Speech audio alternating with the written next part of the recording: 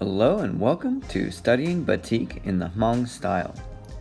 So we've been learning a little bit about the Black Hmong culture from Sapa in Vietnam and they have these beautiful batik textiles or cloth fabric that they make and then they dye it with these beautiful patterns.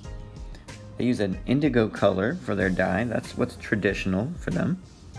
And then, as I said, they draw these beautiful patterns using lines and shapes. And the patterns and shapes actually each have meanings, as you can see here. Some of them. You can pause this and rewind as much as you need to. So I looked at those pictures and I took some notes on the parts of the patterns that I liked and thought were easy enough that I could draw them. So I'd like you to do that too. And you'll need some paper, a pencil, and two rulers, one wider than the other. And for this you can use any kind of paper. I'm using uh, computer printer paper. So I've got my two rulers here. I've got one that's wider than the other. I'm going to start over on one side of my paper. I'm going to trace the sides of my big ruler, my fatter or wider one. And then I'm going to put my skinnier one in the middle of that when I trace that. So here's the other side with my big ruler. You might have to try kind of hard there. You might need some help. Here we go. So here's what I want you to remember. When we trace with our ruler, we got to have at least two points of contact. That means you're touching the ruler in two places. So I've got two of my fingers holding it still, and my fingers are spread apart. If I have both my fingers together on one end of the ruler, it's going to move. So we got to hold our fingers apart on the ruler. So there I go. I've traced the other ruler, the skinny ruler, inside the middle of the wide ruler. And it's going to give me this nice double line. This might be a little tricky. I think it's maybe one of the trickiest skills in this video. So if it doesn't work out, keep trying. Use that eraser. There we go. I've got my whole finger on the ruler there, so that is my two points of contact. Now I'm going to find about the middle of that middle row. I'm just going to eyeball it. I'm going to try to make my dots that go all the way down evenly spaced or pretty close to it. And I'll do that on the other side too. I noticed on some of those batik cloths there was a dot pattern like this. I liked it.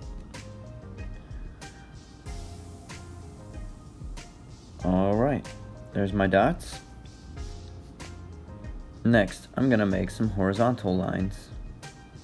I'm gonna trace my big ruler again.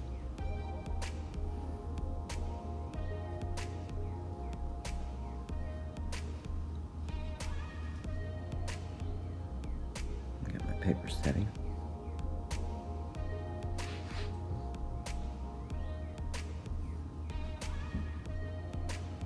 There we go. Holding it in two places and draw a straight line. Now I'm gonna pencil in lightly a zigzag line. It's important to remember when you're drawing these lines, you know, if you draw them light at first, uh, it's a lot easier to erase if you make a mistake. But if you get it right, you can always draw it darker again later. That's no problem.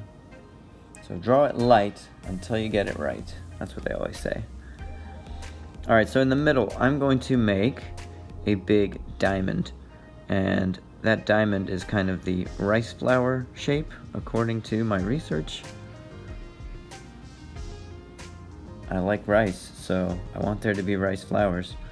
Here's my diamond, and now I noticed it had these sticks coming out the sides of it. Get my line a little bit darker. I think I coming back over my lines with more correct versions of those lines. All right. Now I'm to add some spirals in here. See how it goes around itself.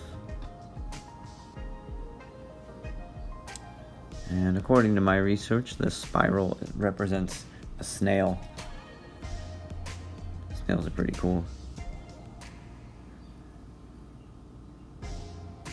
There we go. Take your time. Don't rush. There we go. So there we go. I've got my batik design ready and I'm pretty happy with how it turned out. If you want to use any of these patterns, go ahead.